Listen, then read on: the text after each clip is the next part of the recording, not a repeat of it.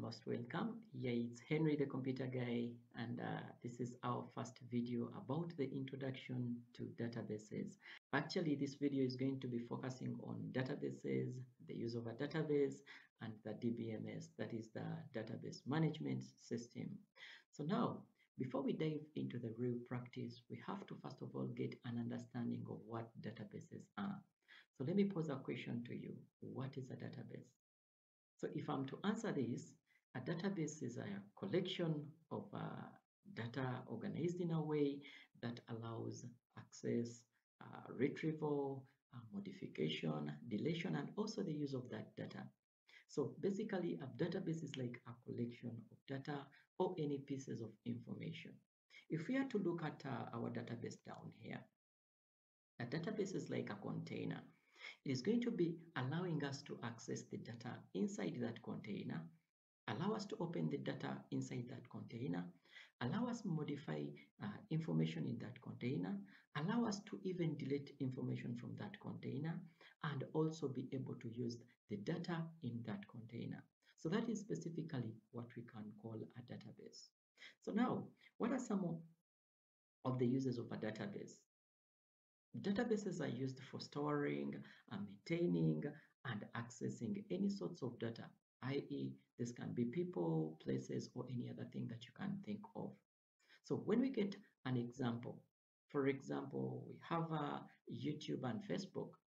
Let's talk about these two apps. YouTube has a database. Remember, I always upload these videos on YouTube. Where are they stored? They are stored in a location called a database. So it allows me to either delete the video I've uploaded, it can allow me to modify the video I've uploaded and give it names, open it whenever I feel I want. So uh, YouTube specifically has a place where these videos are stored and that is called a database. Now, when we talk about Facebook, Facebook allows you to upload photos, videos, change your names, account deletion, and many other things that you can do there. Where do you think that information is stored? And as you're opening up an account, they will require you to put in some information, for example, the first name, uh, the last name, uh, valid email address, the password, the gender, the birth date. Where do you think that information is stored? It is stored in a location called a database. So it will allow you to access that information, uh, modify it, delete it at any time that you feel you want. So that is what we call a data, a database. It's like going to act like a container where you can put an item, you can always remove it from that container. So it is basically a collection of data or pieces of information. So now, having talked about a database, let's also take a second and talk about what we call a DBMS, which is the database management uh, system. This is specifically a software that allows access, modification, deletion, and manages a database.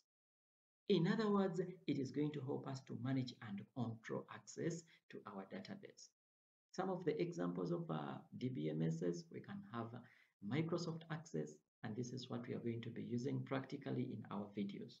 We have MySQL, we can have Oracle, we can have Fox Pro, and others.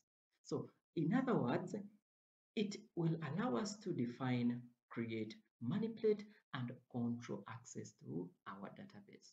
Some of the advantages of a DBMS can include uh, data security, whereby it maintains security of our data. We always enter there. For example, no one can access your account without their password or without your password.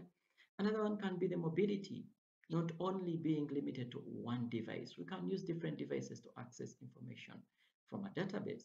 For example, if you want to access your account, you can use, uh, let's say, a phone, you can use a tablet, you can use a computer at any time that you feel you want.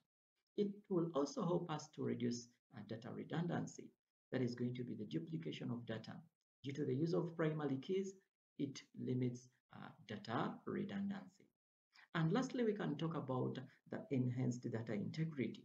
Because no one has access to your information, your data is going to be intact. no one is going to be tampering with your data.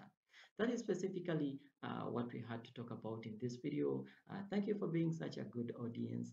And if you're new to my channel, please help me and click the subscribe button. Uh, bye-bye. I sign out. See you in the next video.